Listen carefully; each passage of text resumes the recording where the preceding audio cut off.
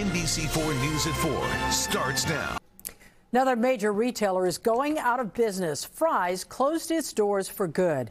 NBC4's Vicki Vargas has more on Fry's and now how other retailers are pivoting to survive. It is a tale of two retailers. First, Fry's Electronics, which announced it will close all 31 of its stores beginning today. After 36 years, the consumer electronics institution is no more. Seems like everything's going away.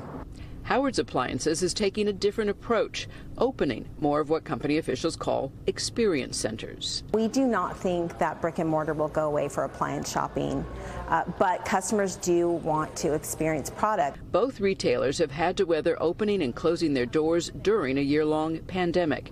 Both have had to navigate online sales versus in person purchases. Howard's is banking on this, a place where the company believes people want to see, touch, and feel the merchandise. You, know, you buy clothes online and everything, and you want to see it first because you want to see if you like the, the, the fabric. It's like this. Company officials say only 15% of their sales are online. The bulk comes from inside their stores. Fry's didn't have a dot com presence until 2000, when shopping carts could be filled with a click. I can't even remember the last time I've been to a mall buy just about everything online. And yeah, with Amazon, they deliver it right to your door.